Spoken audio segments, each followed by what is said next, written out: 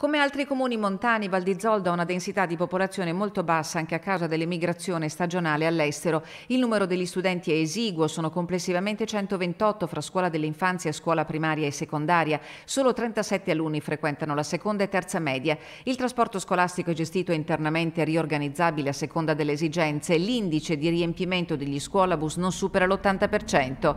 Questa è la fotografia che il sindaco Camillo De Pellegrini ha inviato al presidente Draghi, a cui ha formalizzato la la richiesta di delegare ai sindaci la facoltà di riprendere l'attività scolastica in presenza per tutto il primo ciclo di istruzione, oltre che per la scuola dell'infanzia. Per noi è, lo definisco con una parola forte, assurdo lasciare a casa 37 ragazzi, che sono quelli di seconda e terza, mentre gli altri vanno a scuola. Quindi la richiesta è un po' questa, eh, date fiducia anche ai sindaci che nei loro territori possano comprendere magari meglio le situazioni. Una battaglia che va oltre l'enunciazione del principio di autonomia per De Pellegrin, che osserva un livello di diffusione del contagio da Covid attualmente basso nel suo comune, contrariamente a quanto rilevato lo scorso dicembre, quando le scuole però restarono aperte. Credo che dopo un anno e più di pandemia alcune logiche debbano essere importate eh, anche nell'applicazione delle misure. Il primo cittadino segnala al Presidente Draghi la persistente presenza di divario digitale dovuto alla scarsa connettività di alcune zone del territorio comunale